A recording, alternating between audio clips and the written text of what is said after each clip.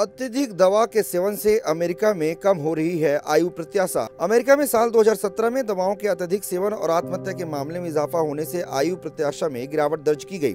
America के राष्ट्रीय स्वास्थ्य सांख्यिकी केंद्र के इस अध्ययन में कहा गया है कि अधिक दवा लेने से होने वाली मौतों में साल 2016 की तुलना में 9.6 प्रतिशत का इजाफा हुआ है। इस वजह से जीवन खोने वालों की संख्या बीते साल की तुलना में सत्तर हज़ार अधिक हो गई है। वहीं अमेरिका में आत्महत्या के मामले में तीन दशमलव सात प्रतिशत का इजाफा हुआ है। रिपोर्ट में कहा गया है कि इससे अमेरिकियों की औसत आयु में गिरावट आई है और औसत आयु साल 2016 से कम हो गई है। ये आंकड़े ऐसे समय में सामने आए हैं जब देश में दर्द निवारक दवाओं, अफीम आधारित दवाओं से बाज़ार भरा हुआ है। साथ ही कृत्रिम अफीम आधारित दवाएँ और नशीले पदार्थ हेरोइन की भी उपलब्धता है। आंकड़े दिखाते हैं कि पिछले कुछ साल में अमेरिका में आयु प्रत्याशा में गिरावट आई है। इस दशक में पहली बार साल 2015 में अधिक दवाएँ लेना कम होती आयु प्रत्याशा की एक बड़ी वजह बना।